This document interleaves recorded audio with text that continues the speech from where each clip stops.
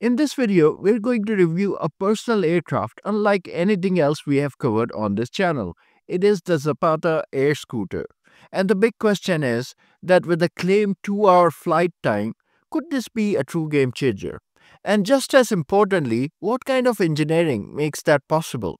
Over the past few weeks, we have reviewed the Jetson 1 and several of its Chinese counterparts. While those aircraft impressed many viewers, a few recurring concerns kept popping up in the comment section.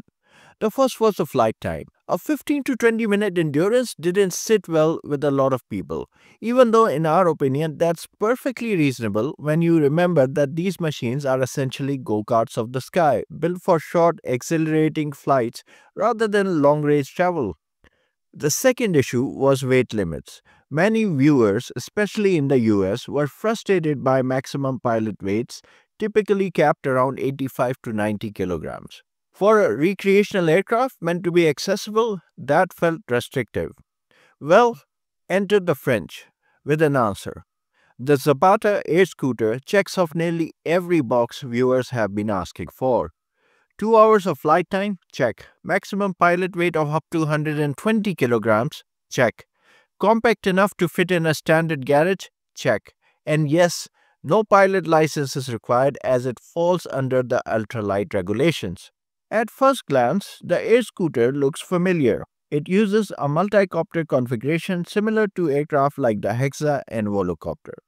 Multiple propellers, vertical takeoff and landing, and computer-assisted flight controls all point towards simplicity and stability.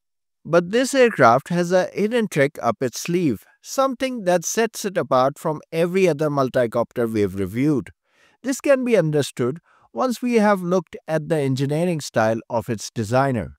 When it comes to innovation, the man behind the air scooter, Frankie Zapata, is no stranger to pushing boundaries. He first gained worldwide attention with the flyboard, a water-powered device that allowed the riders to hover above the surface. That was followed by the Flyboard Air, a jet-powered platform that went viral after a now legendary video showing it racing a Lamborghini across the desert. That moment marks Zapata's deep interest in microturbine jet propulsion. He went on to develop a stick control version of the Flyboard Air and demonstrated it at events around the world.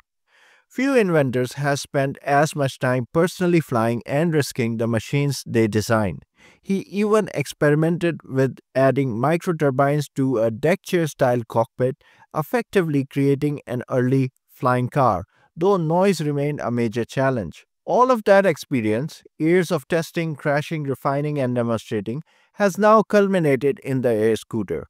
And this time, it wasn't built as a spectacle or a prototype. It was designed specifically with US consumers in mind, targeting recreational pilots who want longer flight times, higher payload capacity, and minimal regulatory hurdles. So let's take a closer look at the design. The A-Scooter features a carbon fiber composite body with an X-shaped cockpit and a fixed tricycle landing gear. The flight controls are fully computer-assisted fly-by-wire. Empty weight comes around to be 115 kilograms. The propulsion is where things get really interesting. The aircraft uses 14 propellers mounted on four booms. There are four large propellers, each about 1 meter in diameter. Then there are 8 smaller propellers for lift and stabilization and two additional propellers dedicated to yaw control. The four large propellers are driven by customized microturbine jet engines developed in partnership with Onera and the French Defense Innovation Agency. These turbines run on kerosene. Here's the key innovation. Part of the power generated by these turbines is siphoned off via alternators to produce electricity. That electricity then powers the eight smaller electric propellers. The A-scooter carries about 5 gallons of fuel, along with a battery that acts as an energy buffer. For directional stability in forward flight, early air-scooter design used a twin-boom tail, something we've also seen recently added to the Volocopter's latest design. However, the air scooter ultimately replaced this with twin yaw motors, adding more active control. In the summer of 2025, Frankie Zapata attempted to demonstrate the air scooter range by crossing the English Channel. Unfortunately, the flight was cut short about a quarter of the way across when one of the engines failed. The aircraft plunged into the channel, but both the pilot and the aircraft were successfully recovered. To Zapata's credit, the team didn't shy away from this failure. They openly shared footage of the incident on their YouTube channel, highlighting that some fine tuning was still needed and, more importantly, discovering those issues before public availability.